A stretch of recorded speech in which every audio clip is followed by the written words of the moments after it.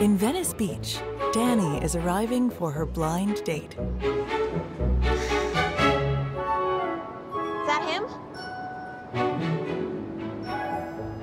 Danny is meeting Matt. He likes vehicular cleanliness and World War II history. He doesn't like celebrity obsession or hunting trophies.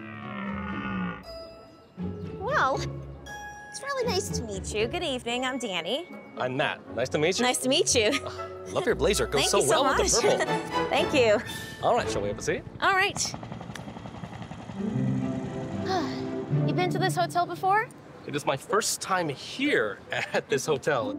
I love the panoramic view. And it's sunny, so I'll just take off my jacket while I'm at it. So, anyway. So, Danny, where are you from?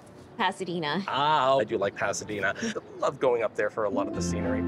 I'm from lovely San Diego, and it's been a wonderful drive Oh, yes, that's where San Diego Comic Con is from. Ah, yes. I'm very much uh, into San Diego Comic Con. I've been attending every year since 1994, and it's my absolute favorite place in the to. But, you know, I just love comics, cartoons, geeky stuff, and uh, it's just, uh, it's pretty much just what makes my life go. Oh, yes.